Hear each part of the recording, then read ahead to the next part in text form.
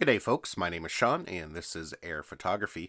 Today we're going to be talking about whether the new controller that comes with the DJI FPV drone that's going to be launched next week on March 2nd and whether it's going to be compatible with existing air units. I've been asked this question several times on some of the videos I've made about the DJI FPV drone and I've seen that question pop up on some of the Facebook groups and I've kind of given my opinion in there as well. Now this video is completely speculative. I have no inside information. This is just kind of my thoughts on what DJI will do with the air unit and the new DJI controller. So here in front of me I have the original DJI FPV controller that works with the air unit and the Caddx Vista. I have the new V2 goggles here, the ones that were just launched. And here in front of me I have two kind of pre-built FPV drones. This one here by GepRC has the full air unit in it while this one here has the Caddx Vista, which is basically a stripped down version of the air unit. So the question is, can this new RC that is being launched work with these existing air units? There's a couple reasons to think that it will and will not be. Now, what I mean by that is I don't know if it will be compatible with the Generation 1 air units.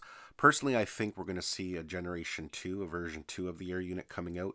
Maybe not on launch day when DJI launches this new FPV setup, but I think sometime shortly down the road. Now, the reason why I think it will be compatible at some point, either with a new air unit or it may be perhaps even the existing air units with a firmware update, is if you take a look at some of the leaked unboxing videos that were uploaded to YouTube, on the side of the box where it shows the contents of what comes inside the package, it lists the FPV controller and it's listed as controller version 2, which kind of is odd that they would do that on a brand new product. When they released the Mavic 2 Pro, they didn't call that controller version 2.0, they just the controller for the drone. So to me, if that controller was specific to that drone only, they would just call it remote controller. Controller 2 sounds like it's going to be part of a bigger package as well. You know, we have we have the air goggles version 2.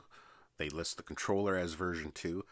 So that leads me to believe that there will indeed be a version 2 of the air unit. Now, if that does turn out to be true, it doesn't mean that it's necessarily going to be compatible with air unit version 1. The original air unit is one band, uses the 5 gigahertz band, whereas the new controller and the new goggles are dual band, they use OcuSync 3.0. So I would have to assume that if they did release a new air unit, that new air unit could possibly be an OcuSync 3.0 air unit as well, which would be really fantastic. And I think from a marketing point of view, it would make perfect sense for DJI to make that controller compatible. After all, some people prefer those smaller, more compact game style controllers. Now, another reason I think it would be a good idea for DJI to make that new controller compatible are for those who like to build long range FPV drones. If they do indeed release an Air Unit 2.0 that does have OcuSync, that's probably going to give you one of the best connections of any FPV drone out there. It's rated at 10 kilometers and you're going to have the reliability of OcuSync. So I think that would be very appealing for a lot of people who do build their own FPV drones and want to get long range with it. So those are my thoughts on whether the new controller will be compatible with existing Air units or perhaps, like I said, Air Unit 2.0. Again, this is all speculative. I don't have any inside information information. This is just my thoughts on what DJI perhaps could do. Now, we should know a lot more on March 2nd.